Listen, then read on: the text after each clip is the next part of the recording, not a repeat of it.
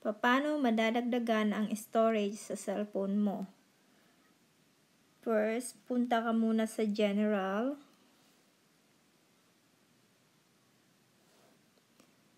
And then, punta ka sa Accessibility. Hanapin mo yung Reduce Motion. Turn that on. It will it will reduce transparency and increase home speed. And it will speed up your cell phone. Sunod natin ay ang messages. You can go to settings. Go ka lang sa messages. And makikita mo dyan yung keep messages.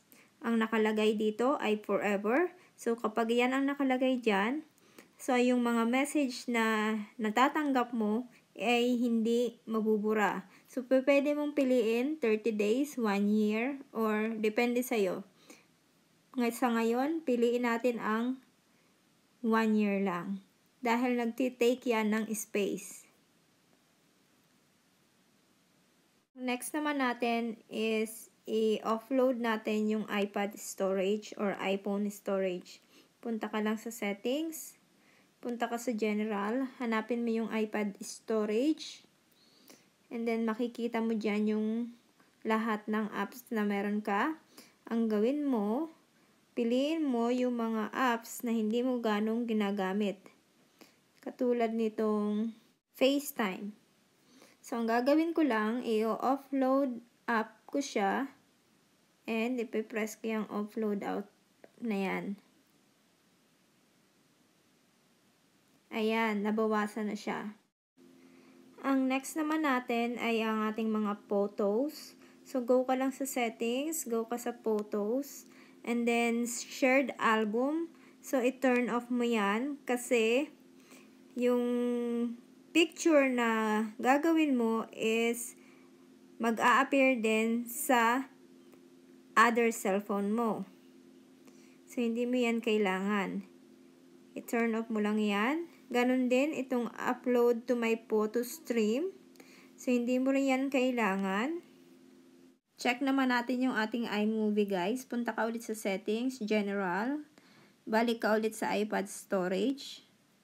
So, tingnan natin yung iMovie. Kita mo 736.3 MB. Ang taas niyan. So, pwede nating i-offload ulit yan. And then, hanap pa tayo dito. Itong YouTube natin, ang taas din. So, gawin natin, i-offload ulit natin. Ganon din itong ating Google. Lahat ng 400, i-offload natin. Tapos, reinstall na lang natin.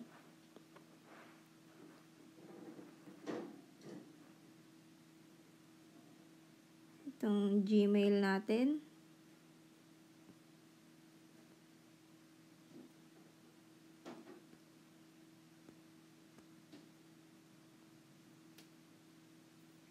Yan.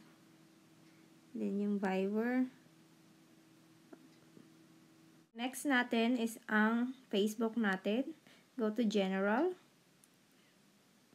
iPad or iPhone storage. And makikita nyo yung Facebook. 512.1 MB. What you can do is to offload the app or delete the app.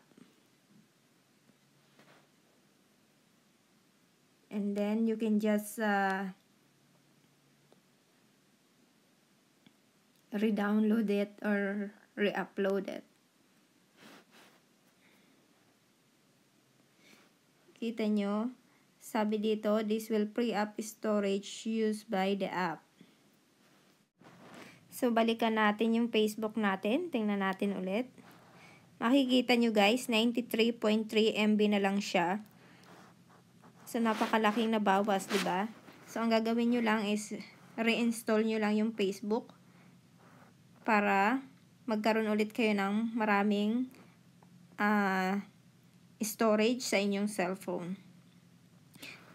Ganun din ang gagawin nyo dun sa ibang application nyo guys. Tulad ng, alin dito yung marami ko. Uh, hanap tayo ng marami. Tulad nito, Facebook page, 508.3 megabytes. So, masyadong malaki yan. So, ang gawin natin is, i-upload up natin.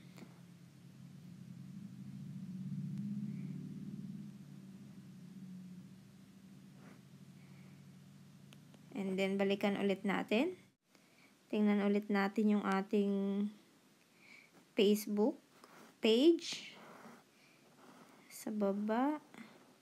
Ayan guys, naging 85.3 MB na lang from 500. 'Di ba? Napakalaki. So ganun lang ang gagawin niyo guys. So pipiliin niyo lang kung ano yung mga matataas nyong MB. Tapos gawin nyo, offload nyo or delete nyo and then reinstall nyo lang. Then magkakaroon kayo ng additional space sa phone nyo.